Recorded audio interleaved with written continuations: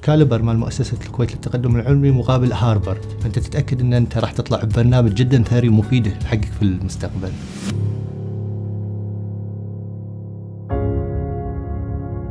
بندر غملاس من شركة التخصيص القابضة وهي شركة كويتية مدرجة في السوق الكويتي للأوراق المالية في إدارة الأصول نائب مدير.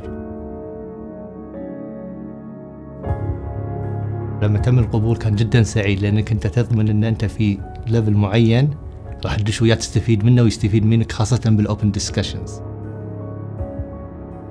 من الأمور اللي جدا يعني أنا يمكن أتكلم ثلاث نقاط رئيسية اللي أنا فعلا أثارت انتباهي في البرنامج، النقطة الأولى الهيئة الإدارية من KFAS وال support اللي يقدموا لنا. اياه، النقطة الثانية نوعية ال professors اللي قاعد يقدمون لنا، النقطة الثالثة اللي هي ال discussion شلون الأمور قاعدة تدار،